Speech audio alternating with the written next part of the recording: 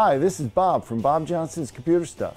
And if you're looking for an online Toughbook community that gives tips, tricks, and support, hit that subscribe and bell button to be notified of our newest videos.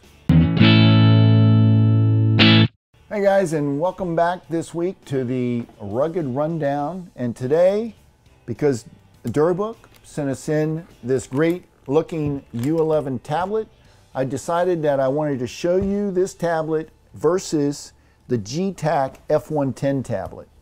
Now, that's the competitor. This is the new equipment.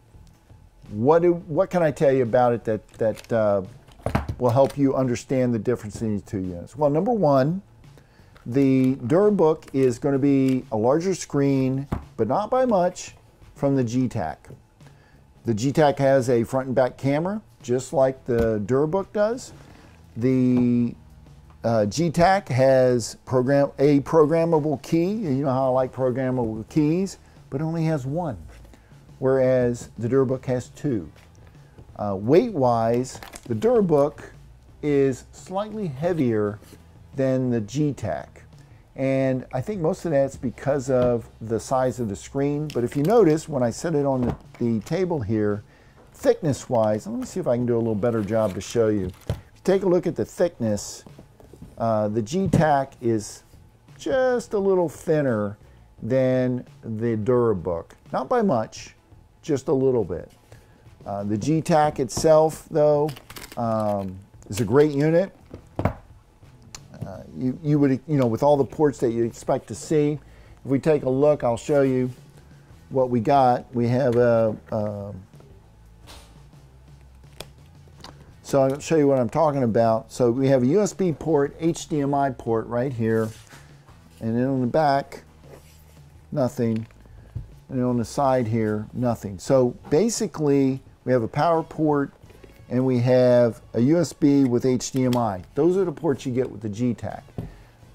I gotta tell you, the Durabook takes the cake right here, man, because not only do you have those ports, but you have the Ethernet port, you have the SD card port, you have uh, a, um, if you look here, you've got power port, and over here we have the Ethernet and the USB 3.0, and I have another USB port with an audio port. So I believe, and you have a smart card reader. I believe that basically you're getting more bang for your buck than you would on the F110. Cost-wise, the Durabook's going to be slightly less expensive than buying a brand new F110. And, you know, you end up with more ports. Now, you can upgrade this uh, to a certain amount, but not to the extent that these ports are over here.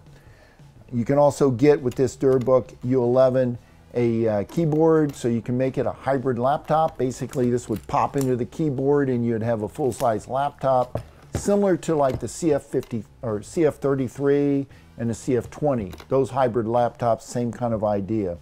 Uh, the F110, you have to buy an iKey keyboard if you want to pop it in there. It doesn't have anything standard that you could get directly from Getac to make that happen. Um, that's basically the differences in these two units. Oh, I will say the Durabook has the hot swappable battery, whereas we can pull the battery out and put a new battery in while the unit's on. But the Getac, you're not able to do that. However, the Getac does have two full-size batteries, which you could take one battery out and put the, a new one in, but you couldn't just take both batteries out at the same time. Uh, Durabook, you're able to do that. The other advantage to the uh, Durabook is hard drive wise, you get the uh, easy quick release hard drive like this that allows you to pop the hard drive off. This is an M.2 hard drive SSD. So you can have multiple hard drives with different operating systems that you could pop in here in a moment's notice to um, keep it running with either Windows 10 or, oh, I want to use Linux. Suddenly you can use Linux. And the Getac, you have to dismantle the unit to put the new hard drive in, and you would end up spending a lot of time changing hard drives. Uh, basically, that's the, the big differences in these two tablets. If you know you guys have any ideas or any other comments, leave them down below. I'm going to leave you some links in the description that kind of go. I have other videos on both these units so you can take a look at them if you're interested. Uh, other than that, I'll see you guys next week.